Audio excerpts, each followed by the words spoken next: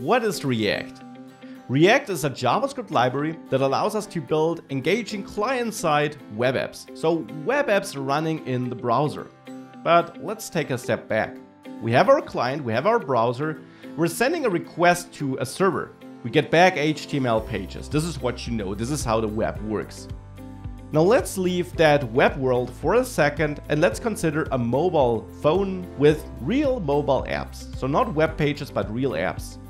If you think about these apps, they're highly engaging. We can tap around and we get a really engaging user experience with near instant responses, no page reloads and so on. Now, React helps us to bring parts of that experience or the entire experience to the web.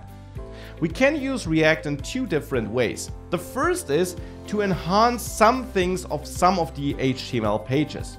We actually can do this with just JavaScript.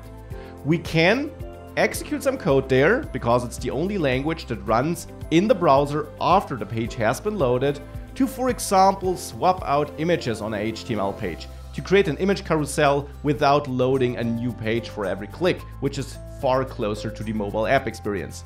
And React helps us with that. It gives us a lot of helpers that makes writing this code much easier than with vanilla JavaScript. The second option is to create a single page application.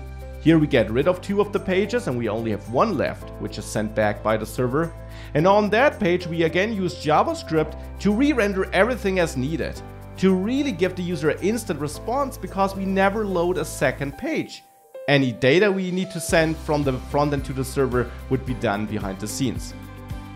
Here again, we can use React to make that easier. So that's the main goal of React. Make things easier that we could also do with normal JavaScript. React allows us to react to events, handle user input, update the UI dynamically, re-render parts of the page or the entire page and make all these things easier, give the user feedback and so on. It allows us to power the entire frontend without problems and that's important though, the frontend doesn't run on the server, it runs in the browser. Speaking of servers, we return that HTML page for a single page application if we want to exchange data, we do this via AJAX request, and we can also do this with a totally different server.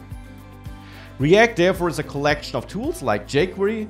It makes the development easier for us. That's its main goal. We could do it all with vanilla JavaScript, but it would be harder. But in the end, we use JavaScript with these extra tools.